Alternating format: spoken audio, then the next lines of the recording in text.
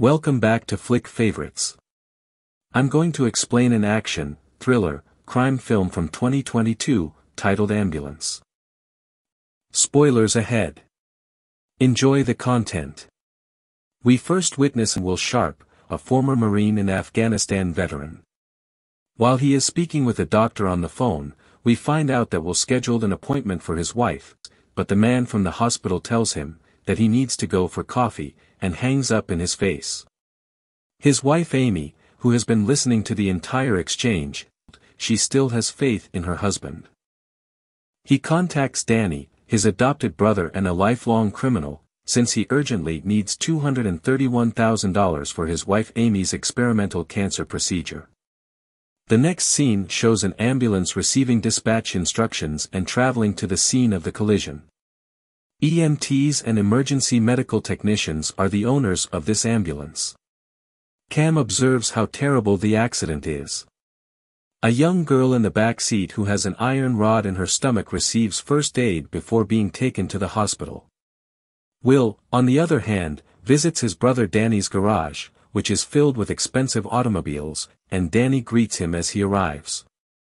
The two brothers are delighted to see one another, and when Will tells Danny that he needs his assistance, Danny responds that he is well aware of the fact that his brother only visits him when he needs assistance. They continue by viewing some of their childhood photos and reflecting on the fun times. Will responds to Danny's question by stating that he requires $231,000 for Amy's operation. If he's prepared to work with them, Danny says he can have much more than that. Danny talks him into taking part in a $32 million bank heist. Will finally accepts after some hesitation as Danny reiterates that he is doing this for Amy. They want to use a delivery vehicle they seized and painted to carry out the crime. They board the vehicle and drive to the Los Angeles Federal Bank. When they enter the bank and have everything under control, Zach the policeman suddenly appears. He learns about the predicament when asking out a bank teller at the bank, at which point Danny takes him hostage. Then one of the theft participants and Zack's colleague officer Mark engage in a gunfight. The LAPD's Special Investigation Section, or SIS, comes and opens fire on the whole team with the exception of Will and Danny, who flee into the garage. Zack makes an effort to flee, and as he and Danny are fighting, Will inadvertently shoots Zach. The brothers try to escape through the building's rear but discover that it is surrounded by police, so they leave Zack to die. They then take over a Falck ambulance that has Zack's medical care provider Cam Thompson inside. After a pursuit that sends them into an alley, Cam desperately tries to use a fire extinguisher to get away, but when Zack begins to collapse, Cam chooses to remain.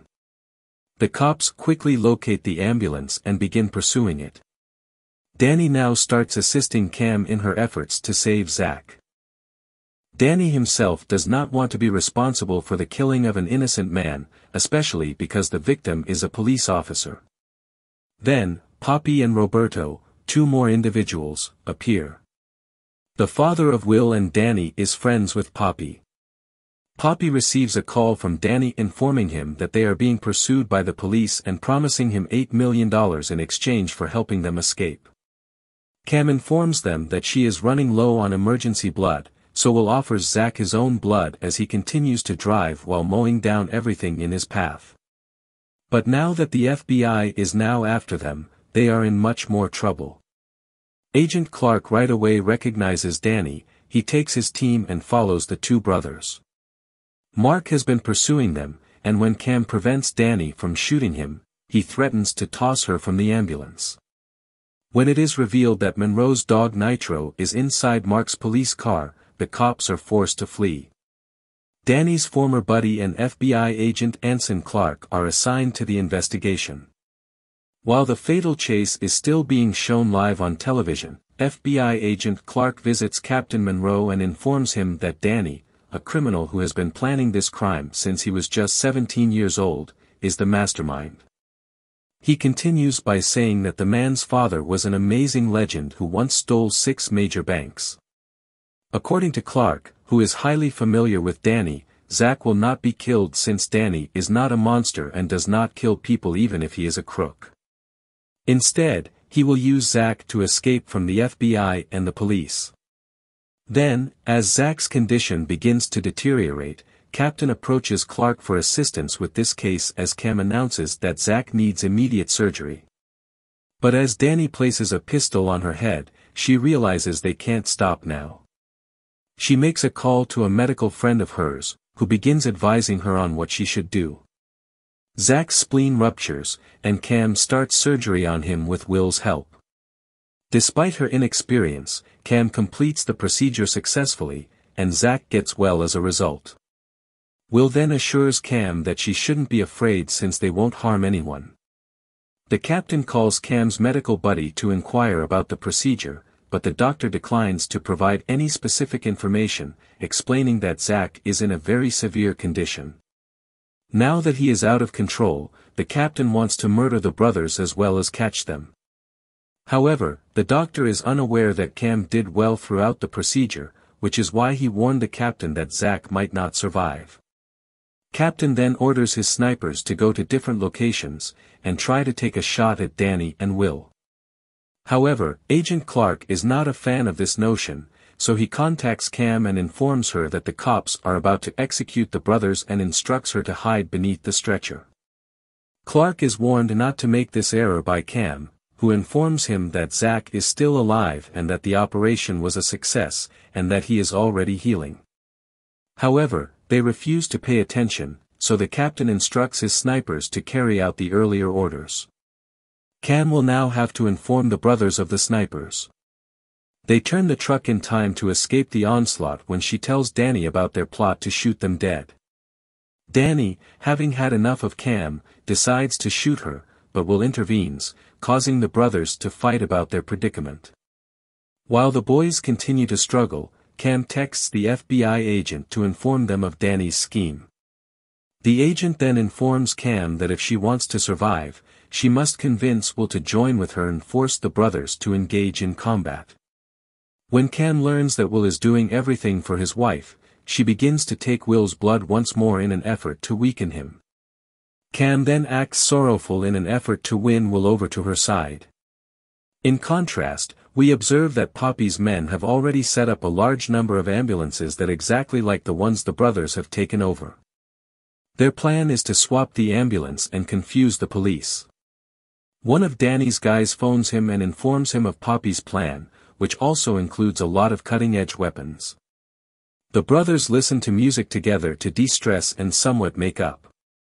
Helicopters are pursuing the ambulance on the Los Angeles River while Danny is firing at them. Then, Will and Danny drive in the other lane of the highway, resulting in several collisions. Eventually, the brothers arrive at the spot where Poppy's men are already waiting for them. When they exit the ambulance, Danny informs Will he may go right now since what is about to happen is extremely risky. He tells his brother that he has a family to take care of, so he does not want to put his life in danger. Danny is relieved to learn that Will also has a sibling to care for when Will informs him of this. In an effort to confound and divert the authorities, Danny has now painted his automobile green. On the other hand, a large number of ambulances that look just like the one the brothers have been driving have taken to the road. While the police surround and halt one of the ambulances, Danny and Will are able to flee by taking advantage of the confusion. Then, Danny tells Roberto that they have successfully escaped and advises him to leave the area as well. When the ambulance approaches the area where several police officers have congregated, Roberto detonates the device, resulting in numerous fatalities. Roberto puts up a bomb in his ambulance before jumping out. One of the policemen notices Roberto as he runs away from the scene and pursues him. Then, to further damage, Poppy's men fire machine guns at other automobiles.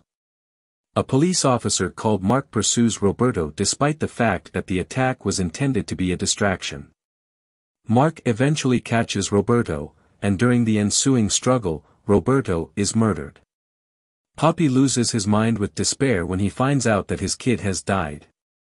The commander also perishes in the middle of all this fighting. While Zack has now woken up and given Cam a gun to defend herself, Will and Danny flee to Poppy's lair, where Poppy orders the brothers to leave Cam and Zack for them to deal with.